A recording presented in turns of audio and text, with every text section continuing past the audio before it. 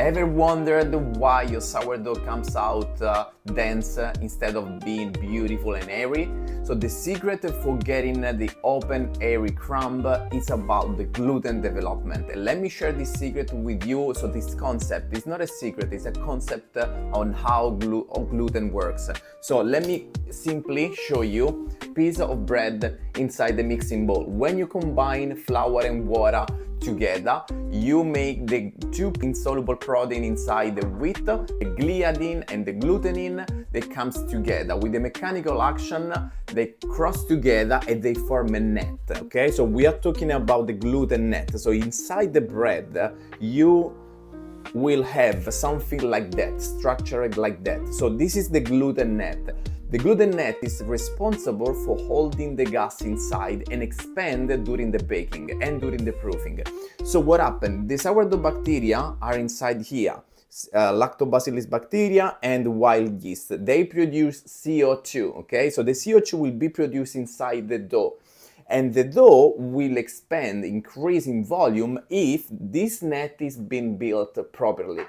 How do you build properly? Folding okay? When you do the fold, the coil, the stretch and fold, you develop the gluten by time and mechanical action. It's not just the mechanical action, but also by time. The gluten developed by time, okay? So what happened? The CO2 will be uh, released inside. If the gluten net is properly done, it will be trapped and the bread, when it's inside the oven, you score it and then it will uh, have a beautiful oven spring. But if you don't do this properly, the bread will, will be flat. So this is one of the main reason of flat bread is because the, the gluten hasn't been developed properly. Gluten react differently, if, uh, really depending on the flour you're using. Every flour is different, even if it's the same protein, the same kind of flour, baker's flour, but if it's grown, the wheat itself is grown in an, uh, another environment, different altitude, different temperature, it will develop a different gluten. When you do the stretch and fold, it becomes tighter and tighter. You can feel the dough underneath your hands. The gluten has a certain elasticity.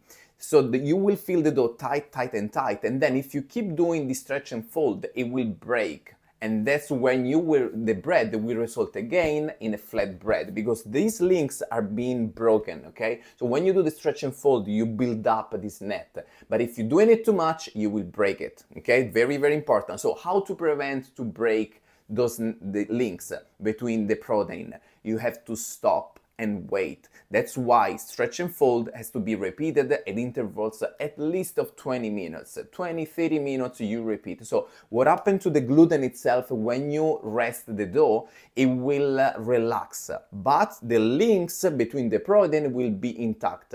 When you're coming back in 20 minutes time, the gluten will gain back the elasticity and you will be able to do another stretch and fold reinforcing those net, okay?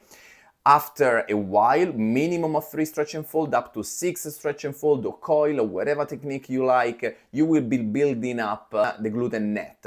A great gluten net is essential for have an open crumb. Okay, this is uh, one of the concepts to understand when you're handling dough. Listen to this video again and again and try when you're making the dough, try to feel the dough.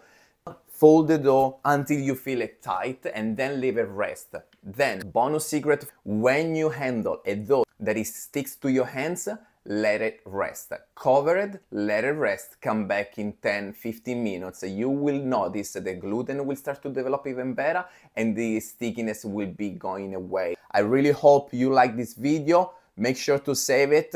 Keep following. I have a lot of concept, a really important concept to explain to make you a better baker. I'll see you on the next one. Ciao belli.